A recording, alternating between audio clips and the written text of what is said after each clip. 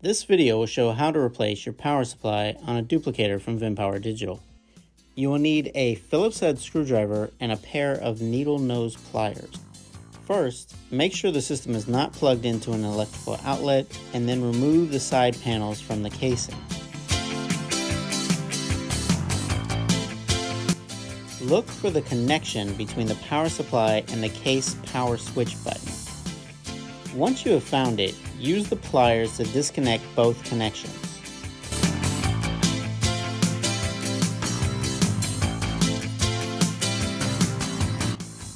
If the power cables are tied together with a zip tie, remove the zip tie to allow the cables to easily be disconnected. Now you want to disconnect the fan power connection, which is located in the back of the case.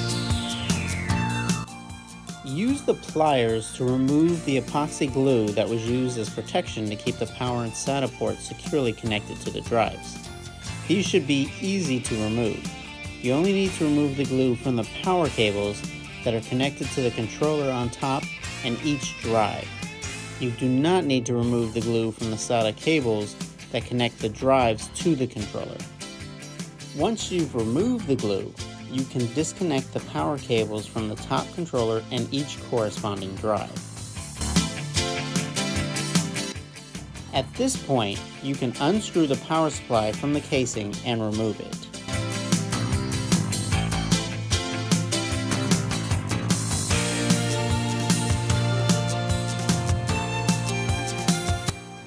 Take your replacement power supply, place it inside the casing where the previous one was.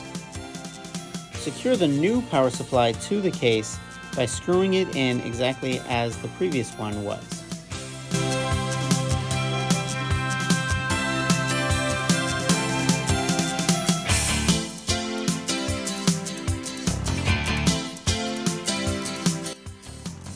Now reconnect the power supply to the case's power switch button by securely inserting each male port into its corresponding female connection.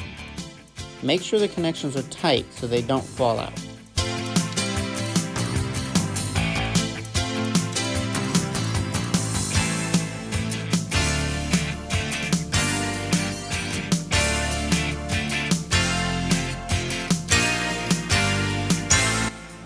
When looking at the cables for the new power supply, find the set of connections that has the Molex connector which you can identify because it has a small floppy connector at the end.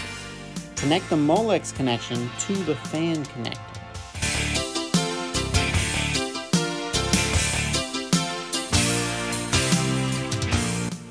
Use the other strings of power connections to plug into each drive.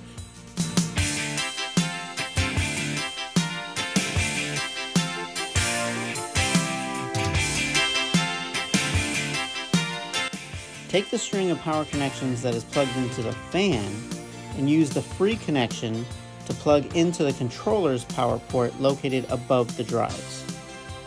Once the controller, drives, fan, and power button have all been connected, you can then arrange for the cables to be securely inside the case, close the casing, and you're all set.